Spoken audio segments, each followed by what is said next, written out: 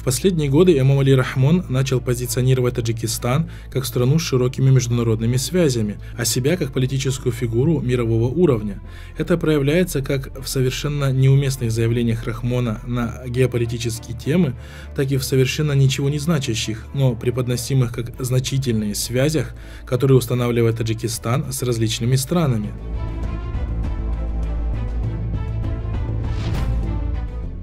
Так, например, 19 сентября 2017 года на полях 72-й сессии Генассамблеи ООН в Нью-Йорке Рахмон с трибуны ООН в своем выступлении сделал несколько нескромных заявлений относительно международных проблем, и в том числе касательно северокорейского кризиса. тоҷикистон ҳалли қазияи ҷумҳурии халқии демократии кореяро дар идомаи музокироти созанда танҳо бо роҳҳои сулҳомез ва дар доираи иҷрои صادقانه قطنامه های دخلدار شورای امنیت سازمان ملل میبیند С очень серьезным лицом заявил он, будто бы его мнение играет в данном вопросе хоть какую-то роль.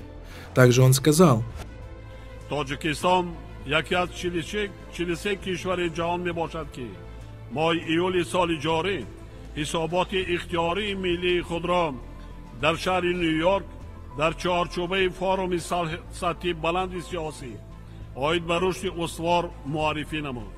Расо ду сол пеш мо созишномаи париж оид ба иқлимро қабул намудем ки ҳадафу мақсадҳояш фарогир буда. Роҳҳои асосии талошҳои ҷомеаи ҷаҳониро جهت مطابق شوی به تغییریابی اقلیم و گزارش به اقتصادیات کم کربن معین می سازد وقتی آن رسیده است که мо аз гуфтугӯ ба амал гузарем ва дар пиёдасозии ҳадафҳои созишномаи париж саҳм гузорем.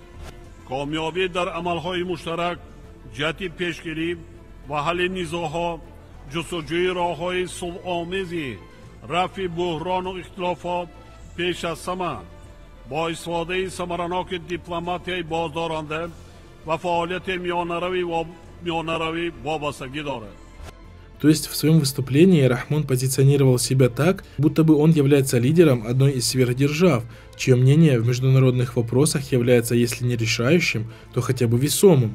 А это, как мы знаем, совершенно не так.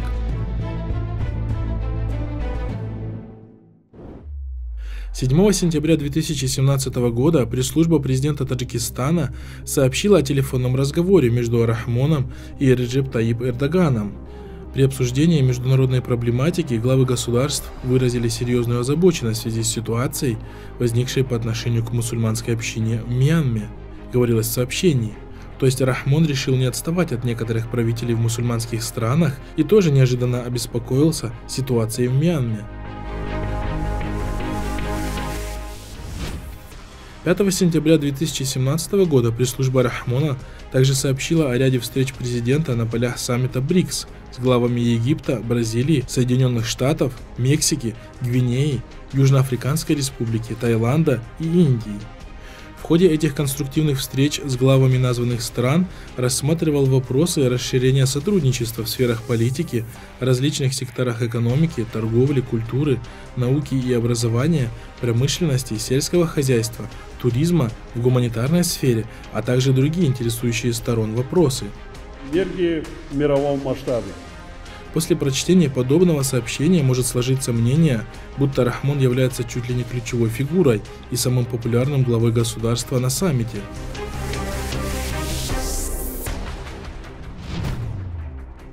Кроме того, в последние годы можно наблюдать, как власти Таджикистана устанавливают абсолютно формальные связи с различными странами, громко трубя об этом и преподнося это как развитие страны в сфере международных отношений – так, например, 28 сентября министр внутренних дел Таджикистана Рамазан Рахимзада встретился в Пекине с министром внутренних дел Молдовы Александром Жизданом, обсудив сотрудничество в сфере борьбы с терроризмом, экстремизмом.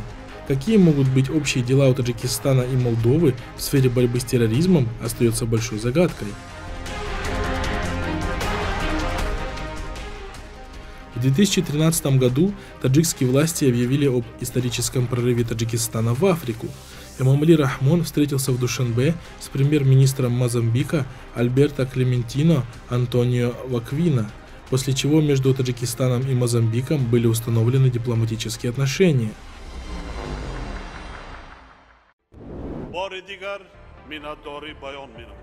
В декабре 2016 года Рахмон в своем послании к парламенту заявил следующее.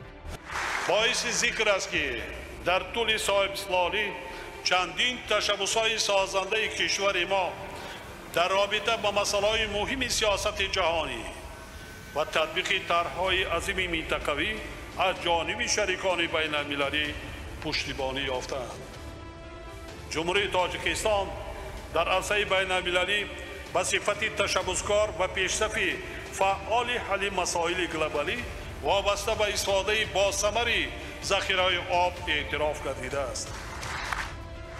Субҳи имрӯз раиси маҷмаи умумии созмони милали муттаҳид ҷаноби питер томсон ба номи роҳбари давлат ва мардуми тоҷикистон барқаи табрикӣ ирсол кард. Ва ман низ мардуми шарифи тоҷикистон ва ҷомеаи байналмилалиро به مناسبت قبول این تشبوس مهم صمیمانه تبریک میگویم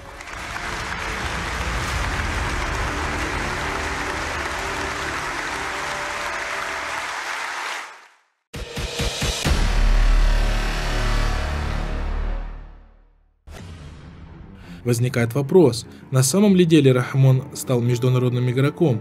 Действительно ли Таджикистан, являющийся самой бедной страной в Центральноазиатском регионе, население которой прозябает в нищете, госдолг которой составляет 40% от ВВП, страной, которая для пополнения бюджета ежегодно получает помощь от десятков стран мира, в том числе и от раздираемого войной Афганистана – поднялся до уровня государства, которое озабочено международными проблемами. Если это не так, тогда чем же объяснить поведение Рахмона?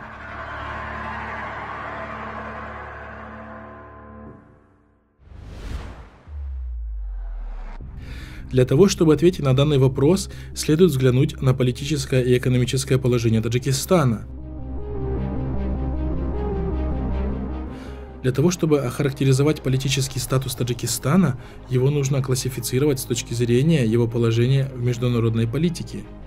Как известно, все страны в мире делятся на государство-лидер, государство-сюзерен, имеющее своих сателлитов и подчиненных, независимое государство, его внешняя и внутренняя политика полностью независима, государство-сателлит, внешняя политика которого подвержена влиянию сюзерена, но внутренняя политика независима, подчиненное государство, внешняя и внутренняя политика которого подчинена сюзерену.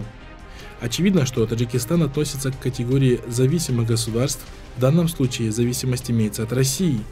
И не просто зависимость, уместно поставить вопрос о наличии у Таджикистана истинного суверенитета, ведь Россия сохраняет свои крупные военные объекты в Таджикистане, в том числе в Душанбе, то есть в столице государства – Памирский участок государственной границы Таджикистана с Афганистаном до 2004 года охранялся российскими пограничниками, хотя формально и был передан под контроль Таджикистана.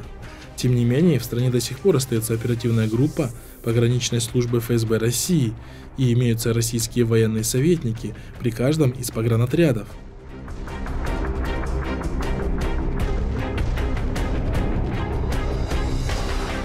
Более того, Таджикистан зависим от России еще и экономически, ведь более миллиона, 12% от всего населения страны, граждан Таджикистана постоянно находятся в России в трудовой миграции. И эта миграция оказывается буквально спасением для народа, который живет за счет денежных переводов из России, которые составляют до половины ВВП Таджикистана. Соответственно, тема трудовых мигрантов становится весьма чувствительным рычагом политического давления на Рахмона – который довел богатый на ресурсы Таджикистан до ситуации, когда населению приходится покидать свою страну и отправляться на заработки за границу, занимаясь низкоквалифицированным трудом в России.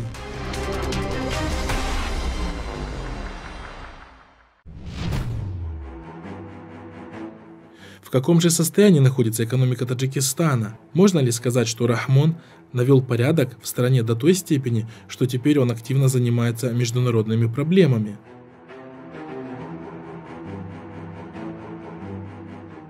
Таджикистан является самой бедной страной среди стран СНГ. В 2016 году Он занял в рейтинге «Самые богатые страны мира» The Richest Countries in the World 153 место из 185 возможных с размером ВВП на душу населения чуть больше 2,8 тысяч долларов.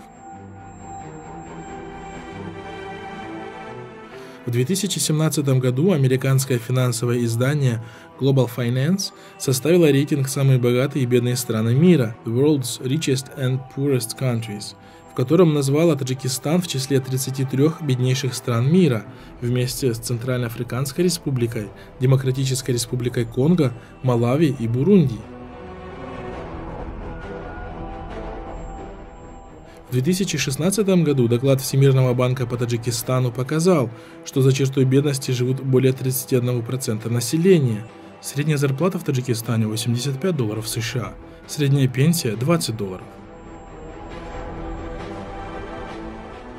газ нест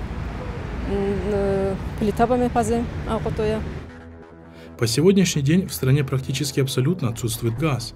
До сих пор имеется множество населенных пунктов, куда не дошло электричество. По данным Всемирного банка, только 57% городских домохозяйств имеют доступ к безопасной воде. Этот аспект для сельских домохозяйств составляет 31%.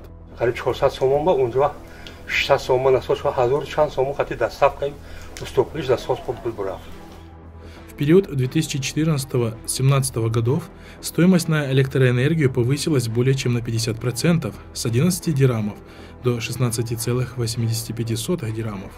В системе образования прослеживается нехватка учителей, учебных пособий и ученических мест.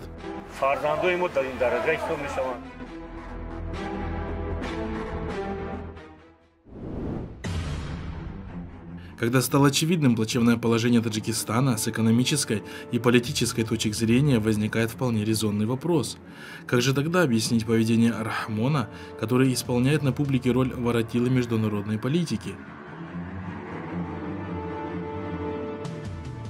На самом деле ответ на данный вопрос как раз и кроется в плачевном экономическом и подчиненном политическом положении страны.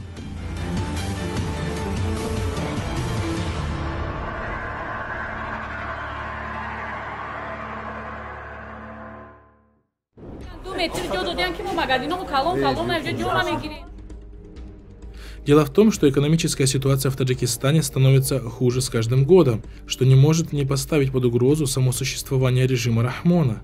По данным Центрального банка РФ, объем денежных переводов из России в Таджикистан за 2015 год сократился втрое. Национальный банк Таджикистана заявляет, что общий объем денежных переводов в республику в долларовом эквиваленте сократился на 33,3%. А это, в свою очередь, означает, что в Таджикистан хлынули потоки трудоспособных мужчин, возвращающихся из России, работа в которой из-за экономического кризиса потеряла смысл. Як рӯзи корӣ мерам мисол сисим чилсим кор мекунам як моҳ дигар меём бекор хоб мекунам ҳамиҷа кор надорам ҷои кор нест ҳози ҳози омадем ина агар боварам бо амра доштам рафта мега нест ҷои кор нест мерай кор мекови чӣ мекови намеёбӣ И чем хуже обстоят дела в стране, тем больше народ проявляет недовольство режимом.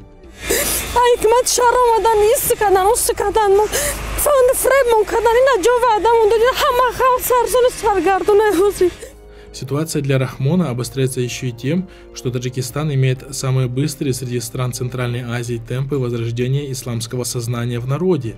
А это несет вместе с собой и рост политической сознательности мусульманского населения, которое не будет мириться с секуляристом-коррупционером, продавшим страну колонизаторам.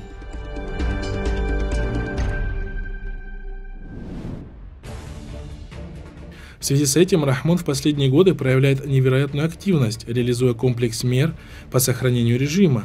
Среди этих мер и нейтрализация оппозиции в лице ПИФТ – и поголовные аресты исламских проповедников и имамов, и объявление войны исламским атрибутам, и насаждение патриотизма и национализма, и массовое внедрение западных ценностей и пропаганда культа личности президента. Так вот, одним из столпов данной политики является изображение невероятных успехов на международной арене. На самом деле Рахмон отчасти всего лишь повторяет советский опыт, когда псевдодостижения СССР в международной политике, экономике и спорте являлись важным инструментом одурачивания населения.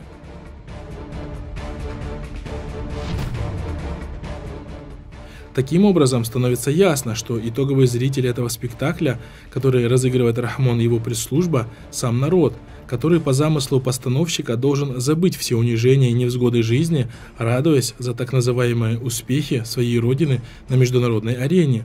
То есть Рахмон просто-напросто отвлекает народ Таджикистана от реальных проблем, стоящих перед ним.